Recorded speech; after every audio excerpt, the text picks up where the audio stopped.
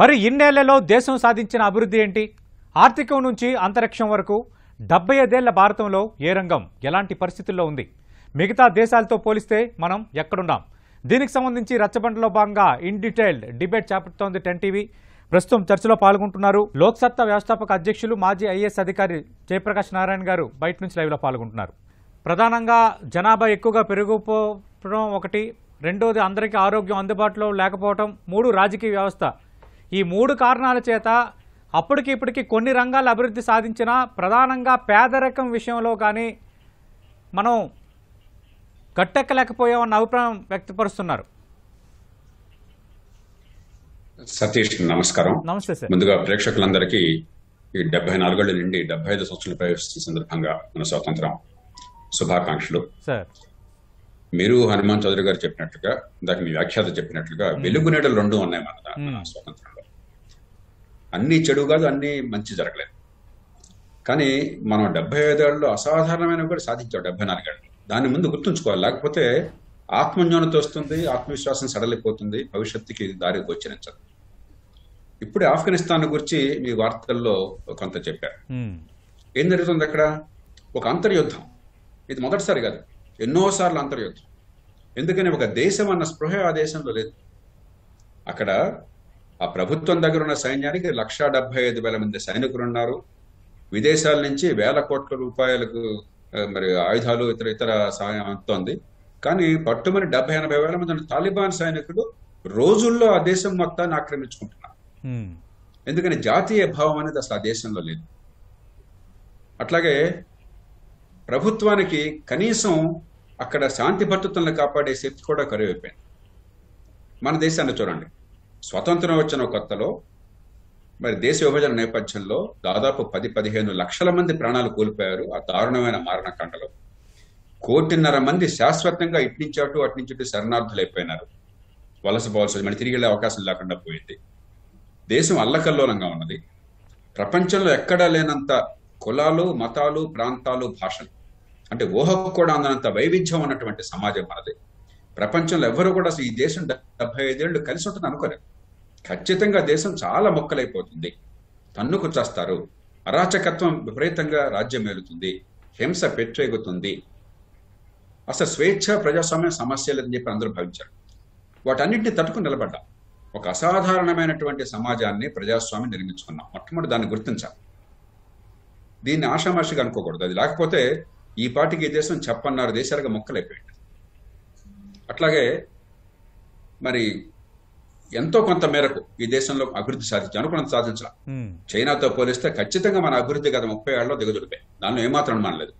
కానీ గతంతో పోలిస్తే కొంత అభివృద్ధి సాధించాం జనాభా బాగా విపరీతంగా పెరిగినా కూడా మనకి జీవన ప్రమాణాలు కానీ తలసరి ఆదాయం కానీ మరి అవ- అవకాశాలు కానీ ఖచ్చితంగా పెరిగినాయి. పెరగాల్సినంత పెరగల. గతంతో పోలిస్తే పెరిగినాయి. దీనికి మనం గర్వపడాలి. ఇన్ని భాషల్ని మనం ఇముడ్చుకోగలిగాం.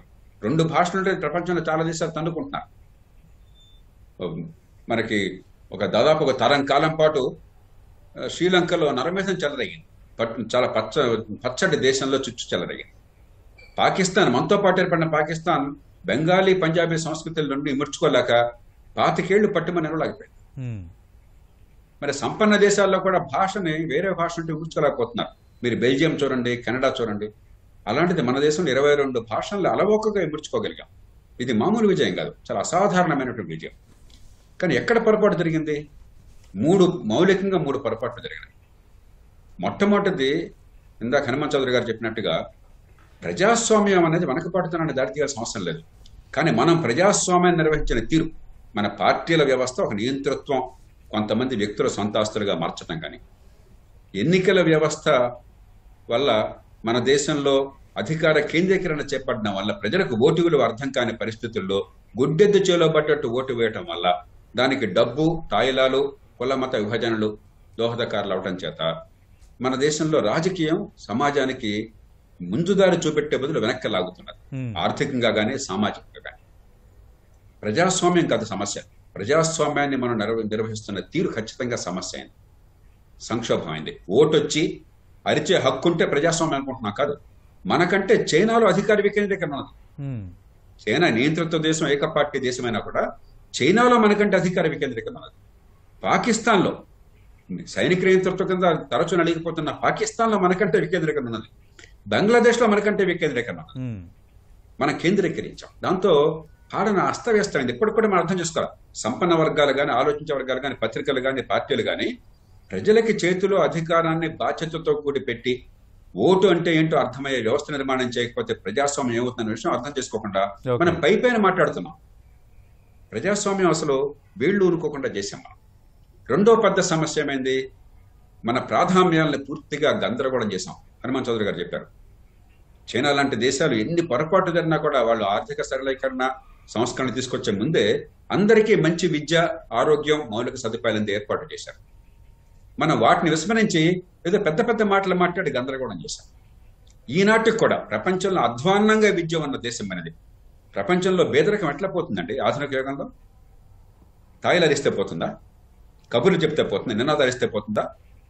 మనకి సంపాదించే శక్తిని మేధస్సు వికసించే శక్తిని ఇచ్చి ఆధునిక ఆర్థిక కార్యకలాపాల్లో పాలు పంచుకునే అవకాశాన్ని సామాన్యులకు కల్పిస్తే పుట్టుకతో తేడాలు లేకుండా ఎవరితోనే పోటీ పడే అవకాశాన్ని ఇస్తే ఎవరైనా పెద్దవాళ్ళు కావచ్చు. ఎవరైనా సంపాదన పరులు కావచ్చు. కాబట్టి విద్య నైపుణ్యము ఉపాధి ఆదాయం ఇది కాకుండా వేరే పేదరికం పోవడానికి మార్గం ఉందన్న భ్రమలో మనం ఈనాటికి కూడా ఈ దేశంలో ఉన్నాం. విద్య నైపుణ్యము ఉపాధి ఆదాయం. మధ్యలో ఉపాధి ఆదాయం కావాలంటే పెట్టుబడులు. విద్య నైపుణ్యము పెట్టుబడులు ఉపాధి ఆదాయము. ఈ ఐదే మార్గం. ఇంకేం మార్గం లేదు. చైనా దాన్ని అనుసరించింది కమ్యూనిస్టు దేశం అని పేరు చెప్పుకున్న చైనా అనుసరించింది మనం విఫలమైన. ప్రాధాన్యాన్ని బాగా విస్మరించాం. మౌలిక సదుపాయాలు ఇప్పుడిప్పుడు బాగుపడుతున్నాయి. కానీ ఇప్పటికి కూడా ఇప్పటికి కూడా అంటే కాస్త బాగుపడ్డాయి అనుకున్న తర్వాత కూడా మన మంచినీళ్ళు కానీ లేకపోతే మన విద్యుత్ కానీ. మన ఫోన్లు కానీ కాస్త బాగుపడ్డ. రోడ్లు కానీ బాగుపడుతున్నాయి అనుకున్న తర్వాత కూడా ప్రపంచంలో అట్టడుగున ఉన్న ఐదు దేశాల్లో మనం ఉన్నాం. నలభై తొమ్మిది పెద్ద దేశాల్లో అన్ని రంగాల్లో కూడా తలసరి ప్రగతి వాళ్ళదే మంది చూసినట్టయితే అట్టడుగు ఐదు స్థానాల్లో భారత్ పాకిస్తాన్ బంగ్లాదేశ్ నైజీరియా నాలుగు దేశాలు ఐదు స్థానాల్లో ప్రతి రంగంలో కూడా నాలుగు స్థానాలు ఆక్రమించుకుంటాం ఓకే దానిలో మనం ఉన్నాం మూడో వైఫల్యం ఆర్థిక రంగంలో తొలి నుంచి కూడా ప్రజలకి స్వేచ్ఛ ఆర్థిక స్వేచ్ఛ పోటీ ఎంచుకునే అవకాశం. దాన్ని విస్మరించే ప్రభుత్వానికి అన్నీ తెలుసు. ఒకప్పుడు ఉత్పత్తి చేస్తే వస్తువుల్ని సమాజంలో గిరాకీ ఉండి ప్రజలకు అవసరం ఉండి మార్కెట్లో అమ్ముకోగలిగి వస్తువులు ఉత్పత్తి చేసి అమ్మితే లైసెన్స్ ఇచ్చిన దానికంటే ఎక్కువ ఉత్పత్తి చేసామని జైళ్ళలో పెట్టాం మనం. ఓకే. హింసించాం ఇంకా దేశం ఎట్లా బాగుపడుతుంది? భయంకరమైన తప్పిదాలు చేశాం. ఇప్పటికి కూడా చాలా రంగాల్లో తప్పిదాలను చేస్తున్నాం. పారిశ్రామిక రంగంలో లైసెన్స్ రాజ్యాన్ని అంతం చేశాం తప్ప ఇప్పటికి కూడా ఈ దేశంలో ఆర్థిక స్వేచ్ఛ రాలా. ఇప్పటికి కూడా ఈ విజయాల నుంచి కూడా పాఠాలు నేర్చుకోవాలి? వైఫల్యాల నుంచి పాఠాలు నేర్చుకోలేదు. విజయాల నుంచి నేర్చుకోలేదు. గుడ్డెద్దు చేలో బట్టొట్టి ఈ దేశంలో బహిరంగ చర్చ జరుగుతోంది. ఈ మూడు మౌలికమైన సమస్య. ఓ పక్కన ప్రజాస్వామ్యాన్ని ఎట్లా గందరగోళం చేశాం? ఉమ్, ప్రాధాన్యాలను ఎట్లా గందరగోళం చేశాం? ఆర్థిక స్వేచ్ఛ లేకుండా సంపద సృష్టించే అవకాశం లేకుండా ఈ దేశాన్ని ఎలా అతలకుతలం చేస్తున్నాం? ఈ మూర్తి నుంచి పాఠాలు నేర్చుకోవాలి. విజయాల నుంచి స్ఫూర్తిని పొందాలి. కాబట్టి నిరాశకి తావులేదు. ఒక్క మాట జనాభాకు వచ్చి రెండు మూడు సార్లు ప్రస్తావించారు హనుమాన్ చౌదరి గారు వారు Hmm. చెప్పింది వాస్తవమే. ఒక కుర్రవాడిగా పంతొమ్మిది వందల డెబ్బై మూడులో నేను ఒక పెద్ద వ్యాసం రాశాను వైద్య విద్యార్థి ఈ దేశంలో జనాభా ఎంత విస్ఫోటం ఏమవుతోందని చెప్పి బలవంతంగా అయినా సరే కుటుంబ నేతను పాటిస్తే బాగుంటుందామన్న భావాన్ని ఆనాడు ఒక చిన్న వయసులో వినిపించారు ఓకే కానీ అదృష్టం కొద్దీ ఈవేళ జనాభా పరిస్థితి అదుపులోకి వస్తున్నది. నిరాశగా తాగులేదు దక్షిణాది రాష్ట్రాలన్నీ అట్లాగే మరి మహారాష్ట్ర ఇటీవల కాలంలో గుజరాత్ తర్వాత ఢిల్లీ పంజాబ్ హర్యానా చివరికి బాగా పేద రాష్ట్రమైన ఒరిస్సా ఇలాంటి రాష్ట్రాలన్నీ కూడా దేశంలో అత్యధిక భాగాల్లో ఈవేళ జననాల రేటు అంటే ఒక తల్లి ఒక సంతానోత్పత్తి కాలంలో పుట్టించే పిల్లలు రెండు పాయింట్ ఒకటి కంటే తక్కువ ఉంటే క్రమక్రమంగా జనాభా స్థిరం అవుతుంది. ఇవన్నీ కూడా ఒకటి పాయింట్ ఆరు ఒకటి పాయింట్ ఏడుకు వచ్చేసాం. తగ్గిపోతుంది ఒక యూపీ బీహార్లో కూడా తగ్గుతోంది కానీ ఇంకా ముందు చేయాల్సి కాబట్టి జనాభా ఇప్పుడు నూట నలభై కోట్ల జనాభా ఉంది నూట అరవై కోట్లకి వెళ్ళి ఆగిపోయింది అక్కడి నుంచి క్రమక్రమంగా తగ్గి మొహపడుతుంది కాలక్రమేణా.